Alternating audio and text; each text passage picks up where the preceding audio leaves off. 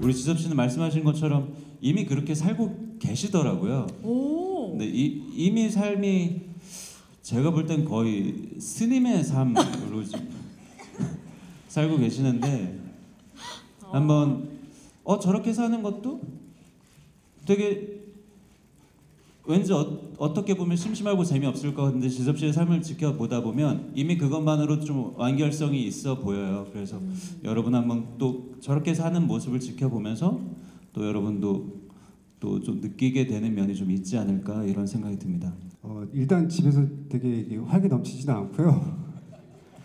일단 저한테 행복감을 주는 건 잠들기 전에 제 침대에 누웠을 때 가장 행복하고요. 아. 집에서 하는 거는 늘 다 일 반 사람들이랑 똑같은 것 같아요. 그냥 뭐 TV 보고 책 보고 컴퓨터 하다가 뭐 영화도 보기도 하고 그런 거 외에 특별하게 무언가를 하진 않는 것 같아요. 대부분 그리고 약간 멍하게 있는 걸 되게 좋아해서 그냥 멍하게 조금 오래 있고 예, 그 정도인 것 같습니다. 음악 하시면서 행복을 아, 음악이요? 예. 아, 예. 저희는 아는데 수지소 씨 본인은 음악 할때 예. 예. 즐겁게 하고 있죠. 아 그러니까요. 네.